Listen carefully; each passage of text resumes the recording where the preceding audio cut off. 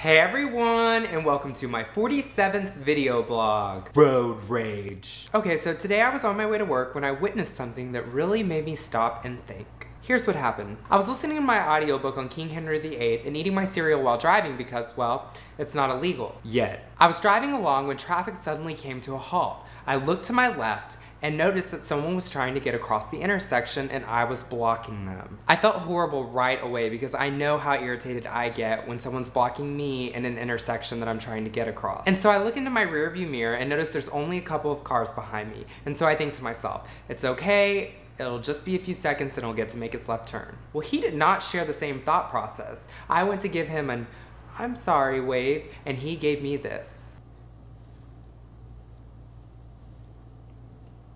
And so I just couldn't understand why this man was being so ugly to me for absolutely no reason. The look on his face was disgusting. It scared me. Whatever that man had inside of him, I never want to have human interaction with. Anyway, so on the rest of my way to work, I just thought to myself how ridiculous it is to get so upset over little things like that, especially while driving. And if you do get upset, thank it. Don't show it because it's an ugly thing to see. And if I had something inside of me like that that caused me to act out in such an ugly way, I I would seek help. So I guess what I'm getting at is try not to get upset over little things like that because it doesn't shine your best light on you. And believe me, I am guilty of doing this. I get upset over the smallest, most insignificant things and it's just a waste of time and energy. Have you ever had road rage? What's something tiny that upsets you? Let me know down below. Don't forget to like, comment, favorite, and subscribe. Bye everyone!